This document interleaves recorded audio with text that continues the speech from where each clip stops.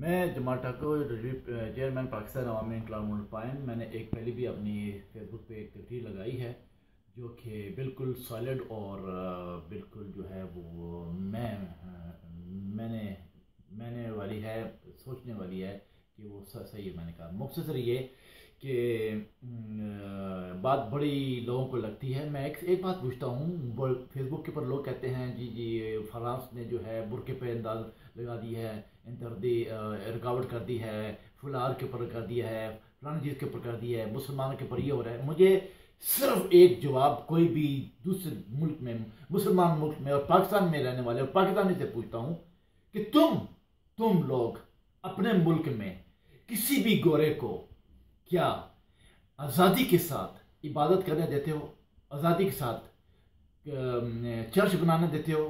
یا کسی قسم کے جو کسی یا کوئی بھی ہو کسی بھی مذہب سے تعلق رکھتے ہو، اس کو آزادی ہے اپنے کہ جتنا فرانس کے اندر اور یورپ کے اندر لندن کے اندر جو ہے مسجدیں اور لوگ آزادی کے ساتھ نماز روزہ کرتے ہیں۔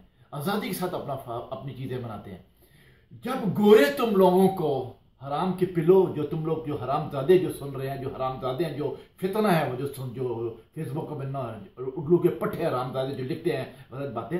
کتے کے بچوں حرام زادو تم لوگوں کو پتہ ہے کہ فرانس کے اندر، یورپ کے اندر مسلمان کس آزادی کے ساتھ نماز روزہ کرتا ہے، عبادت کرتا ہے، کھلے عام اپنے مرضی کے کپڑے پہنتا ہے، سب کچھ کرتا ہے۔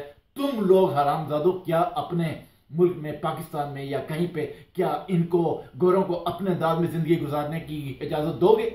تم لوگ تو فنیٹک ہو، حرام دادے ہو۔ تم لوگ تو مسلمان نہیں ہو، تم لوگ فنیٹک ہو سمجھائی نا؟ اس لیے میں نے کہا ہے، فرانس کی گورنمنٹ کو یہ کہا ہے اور صحیح طریقے سے کہا ہے اور لگا رہا ہوں کہ اس ملک کے اندر جتنے مسلمان لوگ ہیں، جتنی جگہ ہیں، ان سب کو کھینچ کے رکھیں، ان کو اپنی جگہ پہ رکھیں۔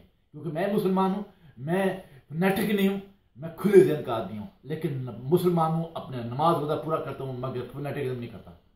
اس لیے فرانس کے اندر برخا اور سکارف اور چادر، یہ سسٹم ختم ہونا چاہیے، بلکہ پورے یورپ میں، امریکہ، کینیڈا، آسٹریلیا میں، سب میں یہ سکارف سسٹم ختم ہونا چاہیے، کیونکہ اسی وجہ سے بیڑا گرک ہو رہا ہے۔ اور چھوٹی چھوٹی چھوٹی چھوٹی چھوٹی چھوٹی چھوٹی جو مسجدیں بنائی ہوئی ہیں، جس کے اندر یہ داعش والے، آئی ایس آئی والے اندر گھس کے حرام زادی کرتے ہیں، اور اس ان پرسکون ملکوں میں، خوبصورت ملکوں میں، ترقی یافتہ ملکوں میں ڈیولپ ملکوں کے اندر جو ہے فتنہ بازی کرتے ہیں اور فتنہ جو ہے وہ کیا نام انداز سے جو ہے پرس، جو ہے پرسکون ملکوں کو بے سکون کرتے ہیں۔ اس لیے میں نے یہاں کی گورنمنٹ سے درخواست کی ہے کہ اس طرح کی چھوٹی چھوٹی مسجد ساری ختم کی جائیں بڑی مسجد رکھی جائے، ہر شہر کے اندر بڑی مسجد اس سب کے نظر رکھی جائے اور ان کو اپنی جگہ پہ رکھا جائے۔ کیونکہ یہ تم لوگوں کا ملک نہیں ہے، مسلمانوں کا ملک نہیں ہے۔ تم اپنے ملک میں پین چودہ کی کرو، مادر چودہ کی کرو پین چود جو مرضی کرو۔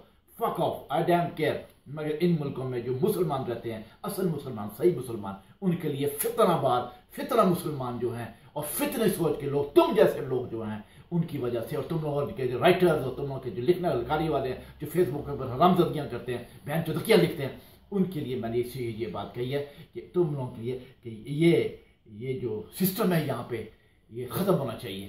اور یہاں پہ جو لوگ اسلام کے اوپر صحیح چلنے والے ہیں، مسلمان صحیح چلنے والے ہیں، میں تم لوگوں کو جمعے کے دن دکھاؤں گا۔ آج جمعہ شاید میں جاؤں، دکھاؤں گا کتنے مسلمان، کتنی آزادی سے نماز پڑھتے ہیں۔ سمجھے نا؟ کتنی آزادی کے ساتھ باتیں کرتے ہیں۔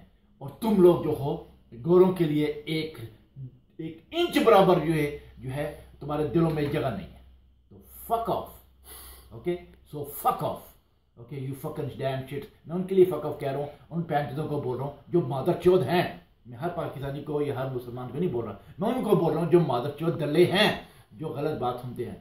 تو سو ان کے لیے فقف باقی جو ہے انشاءاللہ پھر بعد میں بات کریں گے۔ چاؤ۔